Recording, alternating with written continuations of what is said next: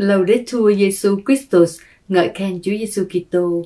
Việt Catholic xin kính chào quý vị và anh chị em trong tình yêu thương của Chúa Kitô và mẹ Maria.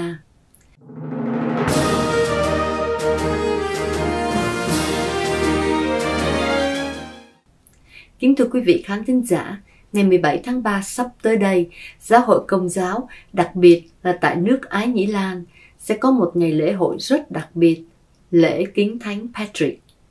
Nói về nước Ái Nhĩ Lan, đây là một quốc đảo nằm ở phía tây bắc châu Âu, chiếm khoảng 5 phần 6 diện tích của một hòn đảo, cũng có tên là đảo Ái Nhĩ Lan, còn được gọi là đảo Ngọc Lục Bảo. Bởi nơi đây được bao phủ bởi những vùng đồng quê tràn lan màu xanh và bát ngát những cánh đồng cỏ. Tuy có một nước nhỏ, dân số chỉ gần 5 triệu người, Ái Nhĩ Lan có một lịch sử và văn hóa lâu đời tại Âu Châu và là một trong những nước phát triển nhất trên thế giới. Với hầu hết dân chúng là người công giáo, người Ái Nhĩ Lan đã đem đạo Thiên Chúa và văn hóa Ái Nhĩ Lan đến nhiều nơi trên thế giới. Mai Hương xin mến chào Sơ Thùy Linh và chị Cẩm Yến. Đúng rồi, tại Melbourne chúng ta có nhà thờ chánh tòa St. Patrick do hai tổng giám mục Ái Nhĩ Lan xây dựng. Thánh Patrick là một vị thánh nổi danh mà đất nước Ái Nhĩ Lan đã chọn làm quan thầy và ngày lễ của Ngài đã trở thành một ngày hội truyền thống của người dân Ái Nhĩ Lan, được tổ chức để tưởng nhớ vị thánh của quê hương, thể hiện đức tin tôn giáo, cũng như tôn vinh nét đẹp, văn hóa lâu đời của dân tộc. Đây cũng là dịp để sum họp, đoàn tụ gia đình và vui chơi với mọi người. Hoạt động văn hóa này lan tỏa ra khắp thế giới, nơi có người Ái Nhĩ Lan sinh sống. Lễ hội được tổ chức vào ngày 17 tháng 3 hàng năm, ngày mừng thánh Patrick. Sư Thùy Linh có thể cho khán thính giả biết sơ lược về tiểu sử của vị thánh nổi tiếng này không ạ? Cảm ơn Mai Hương và xin chào Cẩm Yến và quý khán thính giả. Thánh Patrick, tên thật là Patricius Magunus Sucatus, sinh khoảng năm 389 trong một gia đình người Anh gốc Ý ở thành phố Roma.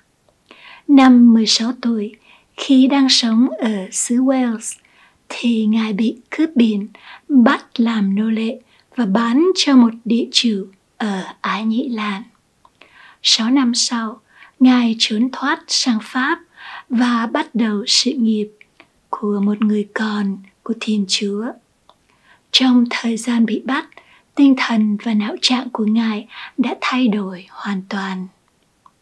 Ngài bắt đầu học làm linh mục và sau 12 năm tu luyện, Ngài được chịu chức linh mục bởi Thánh Germanus, giám mục của địa phận Ocel. Năm 43 tuổi, Ngài được tấn phong giám mục. Ngài đã tiến về phía Tây Bắc Âu Châu nơi đức tin chưa được sao giảng. Ngài đã được các vua chúa trong vùng nâng đỡ và đã cảm hóa được rất nhiều người. Thành công nhưng cũng không thiếu đau khổ vì bị các thế lực ngoại giáo chống đối. Trong 40 năm lam lũ miệt mài rao giảng, Ngài đã làm rạng danh Thiên Chúa và cứu giúp nhiều linh hồn. Thánh nhân qua đời ngày 17 tháng 3 năm 461 ở Seoul, County Down, Ái Nhĩ Lan, hưởng thọ 72 tuổi. Sự cống hiến của Ngài được người dân Ái Nhĩ Lan tôn vinh và giáo hội ghi nhận. Ngài được tôn phong hiền thánh và đất nước Ái Nhĩ Lan chọn ngày thánh nhân qua đời là ngày 17 tháng 3 làm ngày lễ hội toàn quốc và cũng là ngày lễ kính Thánh Patrick như Mai Hương đã nói. Vào ngày 17 tháng 3, người dân Ái Nhĩ Lan đều nghỉ làm cùng nhau vui hưởng không khí tương bừng của một lễ hội. Ngày lễ Thánh Patrick được chính thức công nhận là ngày lễ quốc gia vào khoảng thế kỷ 17 và dần dần trở thành ngày lễ tiêu biểu cho nền văn hóa của người Ái Nhĩ Lan.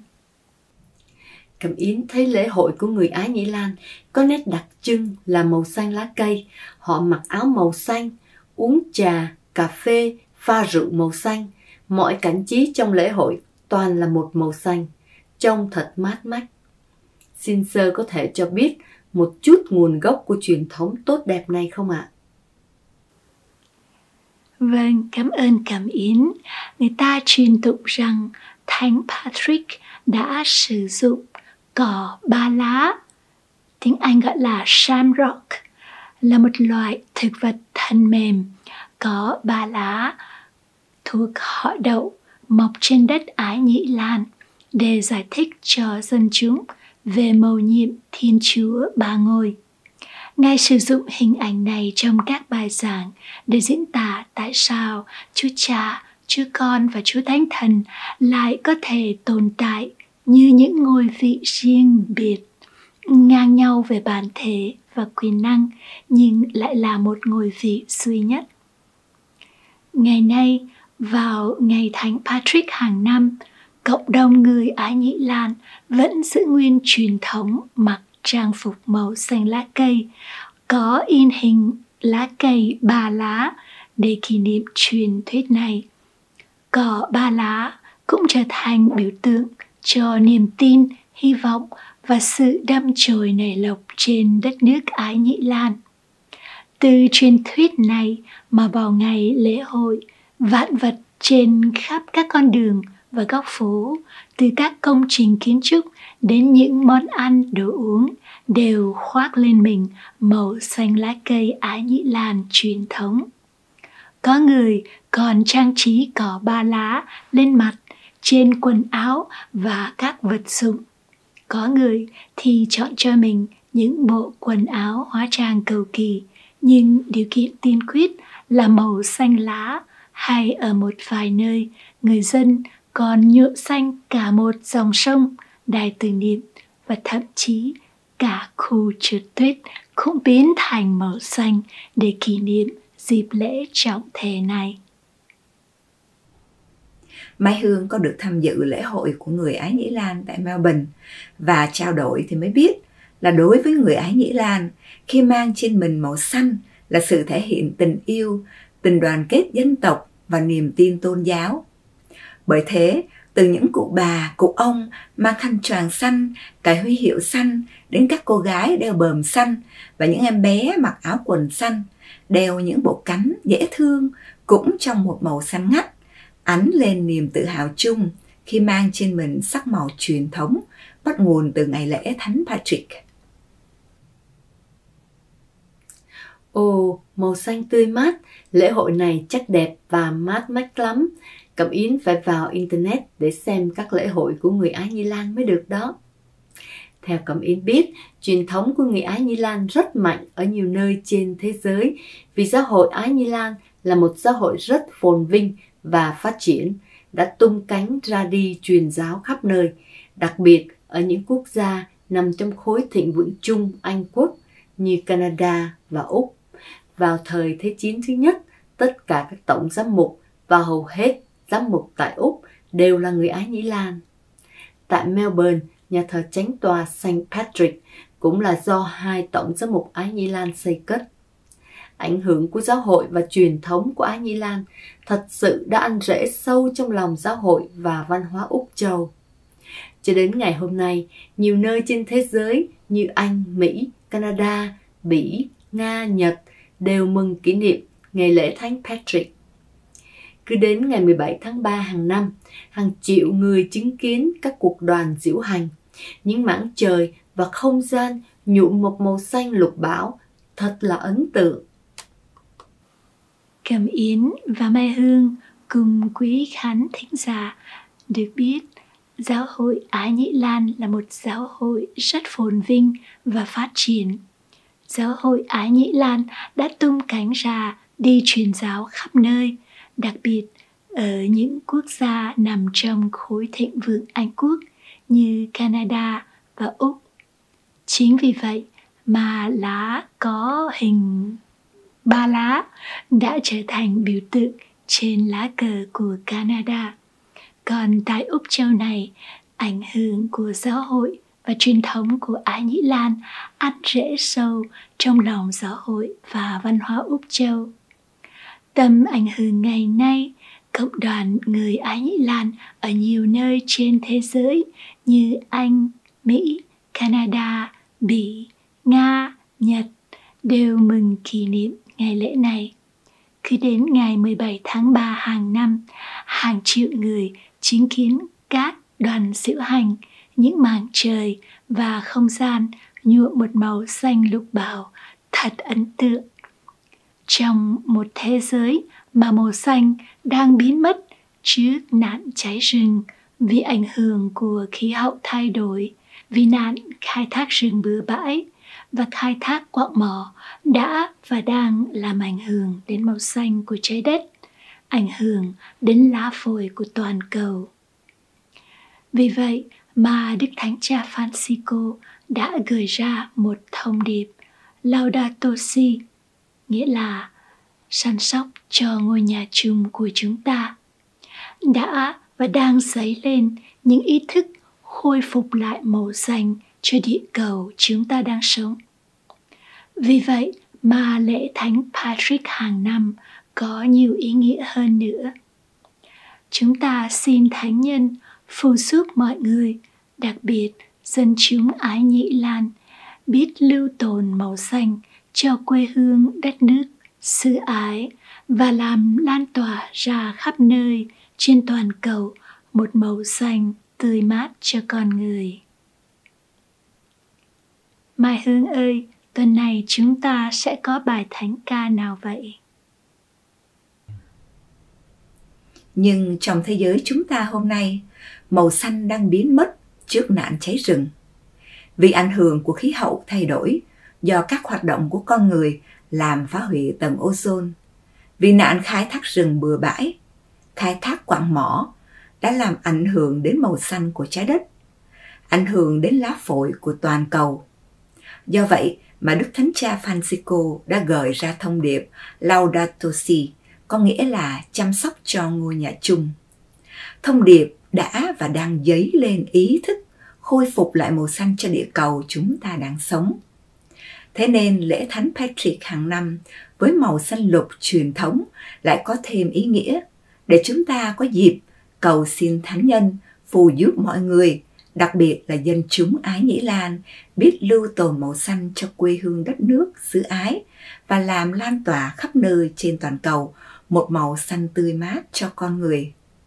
Giờ đây xin kính mời quý vị cùng nâng tâm. Và bài hát thứ hai, Dòng đời ngược xuôi, có lẽ sẽ giúp chúng ta cảm nhận được phần nào cuộc đời gian truân của Thánh Patrick. Chắc chắn trong những năm tháng phải xa lìa quê hương xứ sở, bị bán làm nô lệ, Ngài đã chịu nhiều khổ đau. Nhưng Ngài đã vượt qua tất cả những khó khăn đó một cách diệu kỳ và trở thành một nhà truyền giáo lỗi lạc đem cả đất nước Ái Nhĩ Lan về cùng Chúa.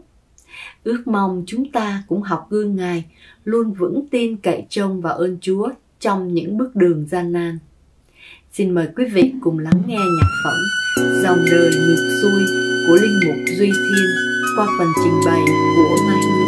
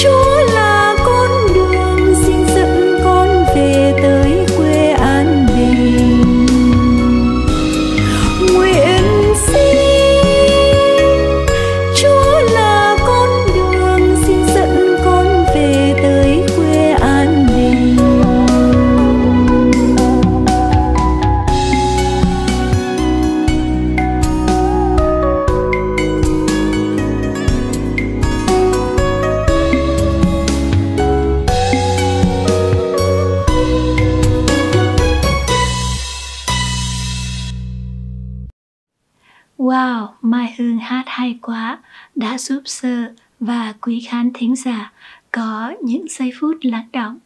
Cuộc đời lo cơm áo gạo tiền quá nhiều để có những phút giây cầu nguyện. Lạy Chúa, cùng với toàn thể giáo hội đang nỗ lực chung tay lo phun góp và kiến tạo màu xanh cho thế giới vũ hoàn này theo như tâm tư thiết tha mời gọi của vị cha chung của chúng con trong thông điệp Laudato Si. Xin Thánh Patrick giúp nước Ái Nhĩ Lan giữ mãi được màu xanh của nước trời trên quê hương xứ ái và cũng giúp thế giới chúng con đang sống ươm trồng được nhiều cây xanh cho ngôi nhà chung của chúng ta. Amen. Chương trình lời ca nguyện cầu của chúng tôi đến đây là hết. Xin quý vị và anh chị em giúp phổ biến rộng rãi chương trình này đến với gia đình, thân quyến và bạn bè xa gần như một cách thức để truyền giáo. Sơ Thùy Linh, Mai Hương và Cẩm Yến xin kính chúc quý vị lễ Thánh Patrick và tuần mới với nhiều màu xanh hy vọng và cùng nỗ lực chung tay gìn giữ ngôi nhà chung, địa cầu thân yêu của chúng ta. Xin hẹn gặp lại quý vị vào thứ bảy tuần tới. Lầu để thua Giêsu Christus, ngợi khen Chúa Giêsu Kitô.